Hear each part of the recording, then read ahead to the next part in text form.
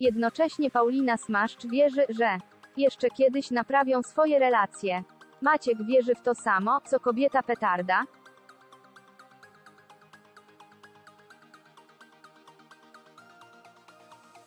Wbrew usilnym zapewnieniom, Paulina Smaszcz wciąż nie zamierza składać broni. Celebrytka z uporem maniaka stara się zdyskredytować Macieja Kurzajewskiego w oczach opinii publicznej, osiągając raczej odwrotny efekt.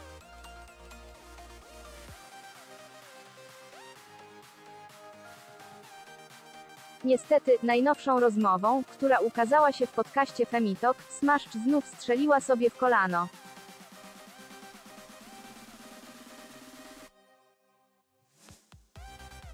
Dziennikarka objawiła się w nim jako mściwa była, która będzie odgrywać się na eksmałżonku.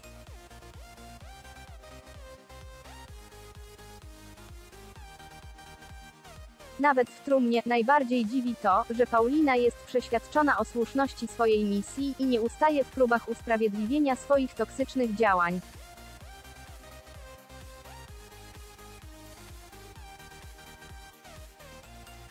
W tym samym wywiadzie 49-latka poszła o krok dalej i stwierdziła, że jej kolejne ataki na Macieja Kurzajewskiego i Katarzynę Cichopek są umotywowane.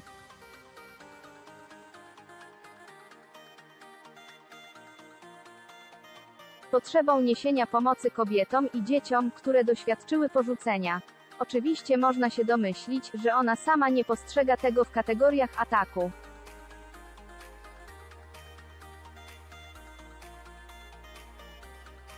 Nie chciałabym, żeby to zabrzmiało, że jestem totalnie bezkompromisowa, bo nie kopię leżącego, zapewniła.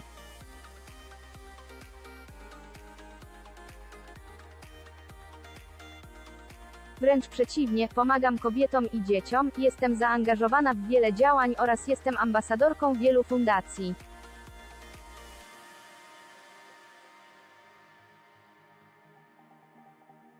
Ale nienawidzę głupoty, arogancji i tego, że jak ktoś ma pieniądze, to myśli, że jest lepszy od drugiego.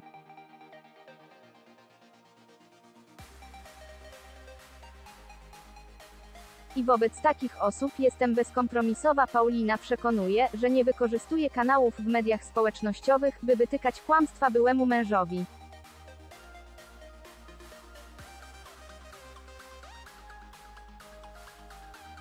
Twierdzi za to, że jej profil służy do coachowania swoich fanek, jeżeli ktoś kłamie, to odpowiadam prawdą, mówiła.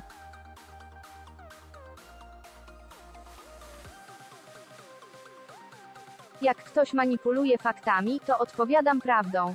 Ale to nie jest tak, że do tego wykorzystuję swoje kanały.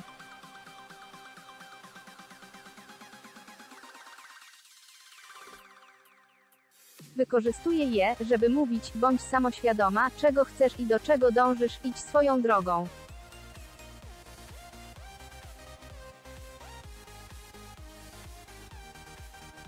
Wtedy celebrytka została zapytana o udostępnianie obraźliwych wiadomości od internautek uderzających w Katarzynę Cichopek.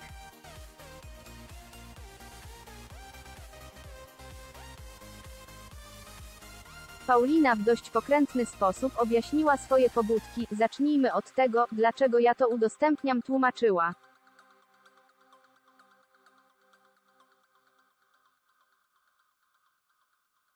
Ponieważ kobiety, które są w trudnych sytuacjach, boją się pisać oficjalnych komentarzy, bo są zaszczut.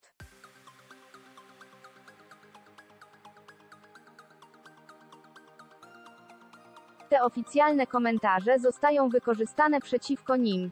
W związku z tym ja je robię jako anonimowe i je udostępniam.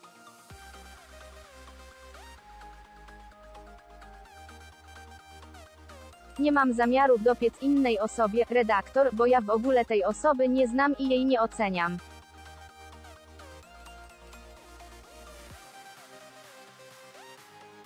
Natomiast kiedy zarzucono mi, że nienawidzę kobiet, a oni to propagują, udostępniają i lajkują, to ja pokazuję przeciwwagę.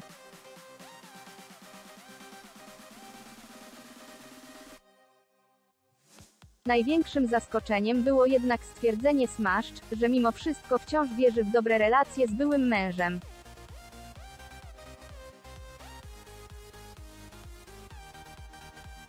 Nie przepuściła jednak okazji do wbicia mu kolejnej szpili, wszystko jest możliwe, oceniła.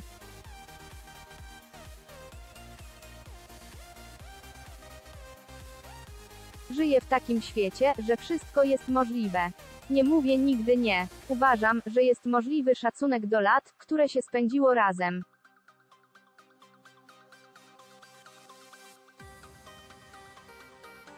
Bardzo żałuję, że mój były mąż tak rozegrał to wszystko kłamstwami i manipulacjami.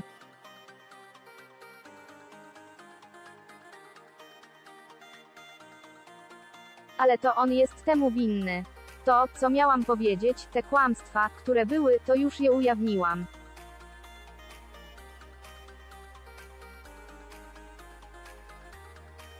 Oczywiście jest jeszcze ich mnóstwo, ale pytanie, do czego on się posunie, dodała złowieszczo.